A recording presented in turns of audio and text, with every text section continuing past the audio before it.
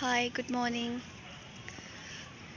Capsicum का plant है और ये ग्रो बैग्स में लगे हुए हैं।